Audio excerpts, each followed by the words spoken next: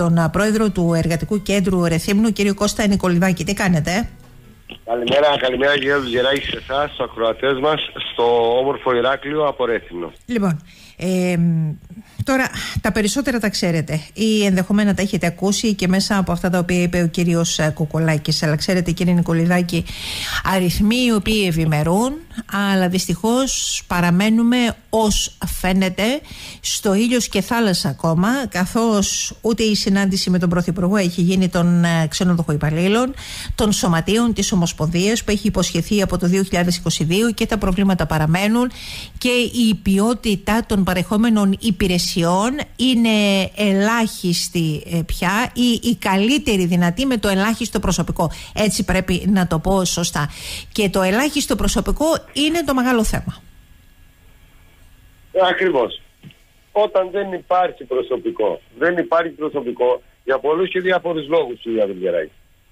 Καταρχήν, ο, ο, ο πιο σημαντικός είναι ότι πλέον όλοι εμείς οι οποίοι μεγαλώσαμε με τον τουρισμό και έχουμε παιδιά τα οποία βγαίνουν τώρα στην αγορά εργασίας, τα αποτρέπουμε από το να ασχοληθούμε με τον τουρισμό.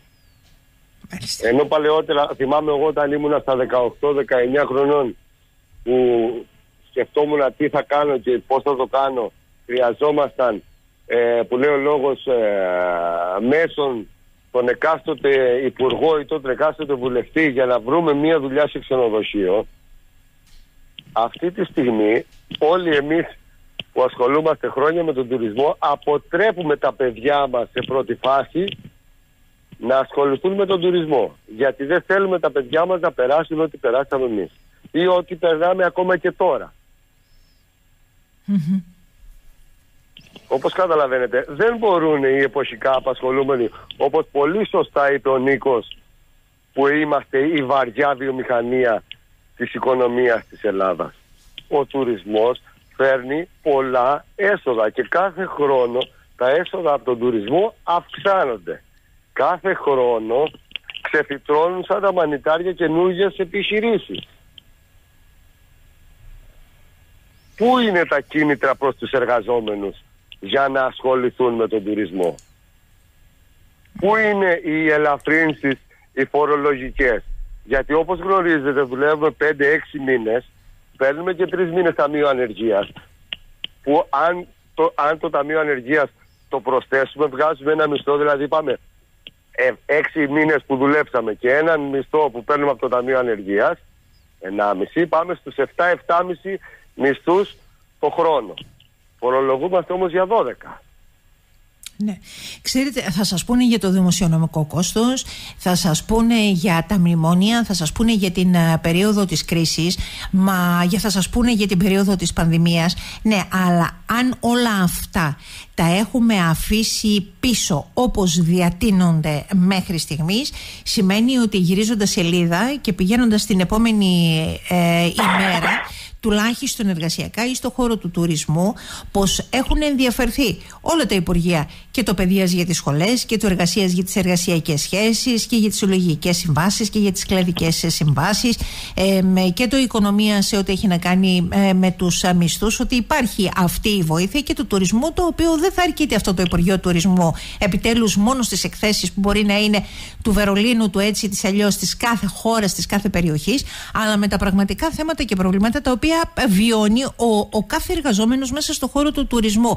Έχετε ε, διερωτηθεί γιατί αυτή η στάση απέναντί σας λίγο πολύ με απαξίωση μοιάζει. Συγγνώμη που το λέω έτσι. Δυστυχώς, όχι λίγο πολύ, απαξιώνουν τον κλάδο του τουρισμού. Και ε, ποιος, πώς μπορούν να μιλήσουν για δημοσιονομικά και όλα αυτά όταν όλα αυτά που εμείς σαν εποχικά απασχολούμενοι μέσω της Ομοσπονδίας των Ξενοδοπαλήλων που εγώ προέρχομαι ε, έχουν κοστολογηθεί, τα έχουμε κοστολογήσει στα εργαζόμενοι. Δεν πάμε αυθαίρετα να ζητάμε ούτε επέκταση του Ταμείου Ανεργίας, ούτε αυξήσεις μισθών αυθαίρετα. Όλα αυτά είναι κοστολογημένα, όλα αυτά είναι λεφτά που πληρώνει ο κάθε ένας από εμάς κάθε μήνα. Ε, ναι. Όλα θα πληρώνουμε εμείς. Δυστυχώς, από όταν ήταν υπουργός Εργασίας ο κύριο Χατζηδάκης, μιλάω για τη μετά μνημονίων εποχή, έτσι, τα μνημονία φύγανε. Οι μνημονιακοί νόμοι γιατί παραμείνανε. Δεν κατάλαβα. Η πανδημία πέρασε. Άρα για ποια δημοσιονομικά, για ποια μνημόνια, για ποιες πανδημίες. Όλα αυτά φύγαν. Έχουμε ρεκόρ, ρεκόρ εισπράξεων από τον τουρισμό. Η ανταμοιβή του εργαζόμενου ποια είναι; Τώρα ξέρετε, με πάτε σε εκείνη την άλλη ενδεχόμενα την ε, επιστημονική κοινότητα ε, και σε μια άλλη ε, κατηγορία επαγγελματική για να ψάξουμε γιατί το μυαλό μας λειτουργεί έτσι, γιατί πώς είναι δυνατόν να ευημερούν οι αριθμοί αλλά να απαξιώνουν τους εργαζόμενους στον τουρισμό που θα προσφέρουν τις ποιοτικές εργασίες. Αυτό. Απλό δεν είναι. είναι. Ακριβώς. Δεν είναι, δεν είναι τυχαίο άλλωστε που η Κρήτη, να μιλήσουμε για την Κρήτη μας, έχει τους, ε, το μεγαλύτερο ποσοστό επαναλαμβανόμενων πελατών. Και δεν το έχει ούτε για τον ήλιο της, ούτε για τη θάλασσά της, ούτε για τα μάρμαρα και τις πορσελάνες του κάθε ξενοδοχείου. Το έχει γιατί η κουλτούρα των κριτικών στη φιλοξενία και στην περιποίηση έχει φέρει αυτό το αποτέλεσμα. Το έχουμε στην κουλτούρα μας θα φέρουν τώρα ανθρώπους από τρίτες χώρες. Να κάνουν τι; Οι, οι επισκέπτες έρχονται στην Ελλάδα. Έρχονται στην Ελλάδα. Αν θέλαν να είναι με τρίτες χώρες, την κουλτούρα των τρίτων χωρών, γιατί όποιος, όποιος συνάρθει δεν έχει την κουλτούρα μας. Δεν έχουμε πρόβλημα με τους ανθρώπους αυτούς. Αλλά δυστυχώς δεν μπορούμε μέσω της, ε, ε, δεν μπορούν να ενταχθούν στις τουριστικές επιχειρήσεις διότι έχουν διαφορετικά κουλτούρες από εμάς. Μα όταν η εκπαίδευση πάσχει στο δικό σας το χώρο, φυσικό αναμενόμενο είναι ότι τα πράγματα θα είναι τελείως διαφορετικά.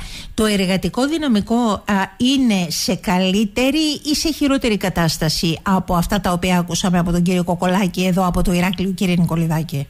Τα θέματα εκπαίδευσης εννοείται. Ναι, ναι. Το εργατικό δυναμικό αυτή τη στιγμή όσο πάει και ξέρει πιο λίγα διότι μέχρι πριν μερικά χρόνια είχαμε τις σχολές τουριστικών επαγγελμάτων. Κάτι που η, η, το, η, η επίσημη πολιτεία σιγά σιγά το απαξιώνει και το σβήνει. Γι' αυτό ξεφυτρώνουν και κάθε μέρα και από μια ιδιωτική σχολή με τον τουρισμό. Που, που εκπαιδεύει ας πούμε παιδιά για τον τουρισμό. Και βλέπουμε και ανθούν τέτοιου τύπου σχολές. Γιατί λοιπόν η επίσημη πολιτεία, ενώ αρχικά είχε πει ότι θα κάνει σχολές τουριστικών επαγγελμάτων βήματα μετεκπαίδευσης στις πόλεις που υπάρχουν οι υποδομέ, για να μην νοικιάζει χώρους και τα σχετικά, τώρα τι βλέπουμε, ότι μεταθέτει και τις αρχές, βάζει τα σωματεία, βάζει τους εργαζόμενους τη διαδικασία να μαζέψουν τα δικαιολογητικά και τα σωματεία να τρέξουν οι εργαζόμενοι να βρουν τα δικαιολογητικά να τα προσκομίσουν και τελικά τι λέει; Από Φλεβάρι σε Απρίλη και από Απρίλη σε Σεπτέμβρη και από Σεπτέμβρη σε Χριστούγεννα. Με αποτέλεσμα να μην λειτουργούν αυτές τις σχολές. Μάλιστα. Το, το εργατικό δυναμικό αριθμητικά στη δική σας την περιοχή στο Ρέθυμνο; Το αριθμητικό, το, το εργατικό δυναμικό αυτή τη στιγμή στο Ρέθιμο. Γιατί αν υπολογίσω αυτό που. Τολμώ γιατί... να πω ότι ναι. είναι μειωμένο περίπου στο 10 με 10-10% σχετικά με πέρσι. Μείουν 10% σε σχέση με πέρυσι. Ναι. Ε. Τολμώ να το πω αυτό. Και δεν μιλάω μόνο για τον τουρισμό, έτσι. Δεν παρεξηγηθούμε. Το εργατικό δυναμικό στο Ρέθιμο είναι μειωμένο κατά 10% με πέρσι. Ναι. Ε... Γιατί δεν είναι μόνο αυτοί που φύγαν στο εξωτερικό. Ναι είναι και αυτοί που βγήκαν στη σύνταξη. Που δεν τους υπολογίζει καμία πολιτεία. Ναι, σωστά το λέτε.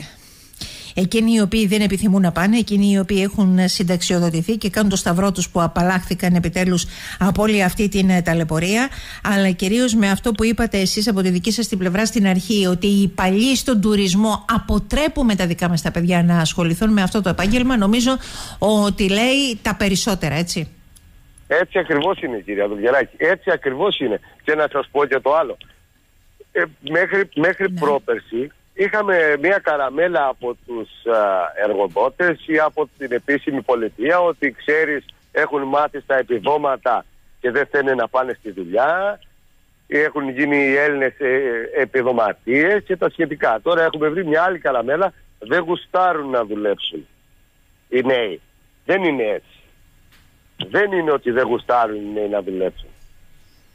Απλά ζητάνε και επιτέλους, επιτέλους κυρία Δουλγεράκη, οι εργαζόμενοι ζητάνε πρώτα απ' όλα καλές συνθήκες εργασίας και καλύτερες αμοιβές. ζητάνε ένα βέβαιο μέλλον, να το πούμε πιο καλά. Δεν έχετε άδικο σε αυτά που λέτε, γιατί εφόσον έχουμε φύγει από τα μνημόνια, εφόσον έχουμε φύγει από την πανδημία, εφόσον έχουμε ξεφύγει από αυτό το φαύλο κύκλο των εργασιακών σχέσεων και των μισθών των εργαζόμενων, κυρίως στον ιδιωτικό τομέα, τα νέα τα παιδιά, ναι, και οι παλιοί, αλλά και τα νέα τα παιδιά διεκδικούν ένα καλύτερο μέλλον. Έχετε απόλυτο δίκιο σε αυτό που λέτε. Δεν μπορεί κανένας να πει το, το αντίθετο. Ε, γι' αυτό και λέτε, επιτέλους οι νέοι διεκδικούν τη δική τους τη ζωή. Ε; Ακριβώς. Μάλιστα. Λοιπόν, Ακριβώς. Λοιπόν. Αλλά θα σας πω κάτι κυρία Δουλγεράκη. Πώς, πώς μπορούν τα πράγματα στον τουρισμό ή σε οποιοδήποτε κλάδο να φτιάξουν όταν το ύψος του κατώτατου μισθού δεν καθορίζεται μέσα από τις ολογικές διαπραγματεύσεις αλλά καθορίζεται από τον εκάστοτε υπουργό. Και βέβαια μένουμε ε, στα εργασιακά και μιλάτε για τα εργασιακά και τα οικονομικά, αλλά δεν κάνει κανένας από εμάς να ξεχνάει ότι το τουριστικό προϊόν εκτός από αυτά έχει και πολλά άλλα τα οποία έχουμε αφήσει στον αυτόματο πιλότο. Το θεματικό τουρισμό, το φυσιολατρικό, όλα τα υπόλοιπα. Γιατί η Κρήτη είναι πραγματικά πολύ πλούσια και έχει πλούσια ελέη να δώσει αρκεί κάποιος σε σωστά μονοπάτια να κινηθεί για να μπορέσει να αξιοποιήσει με τον καλύτερο δυνατό τρόπο αυτά τα οποία του προσφέρει το νησί. Ε. Μην το ξεχνάμε αυτό. Έτσι ακριβώς είναι. Η Κρήτη θα μπορούσε να έχει τουρισμό 12 μήνες το χρόνο. Και ε, με, με, τα, με θεματικούς τουρισμούς, καλύτερη είναι η Κύπρος δηλαδή η βιοπικιλότητα της Κρήτης αλλά και τα μοναστήρια τα, τα, η, η, ορεινή, η ορεινή Κρήτη ας πούμε έχει μονοπάτια απίστευτα υπάρχουν σπήλαια δηλαδή είναι πολλές οι μορφές του τουρισμού που θα μπορούσαν να κρατήσουν, να φέρουν επισκέπτες και κατά τη διάρκεια της δεκράς περίοδου.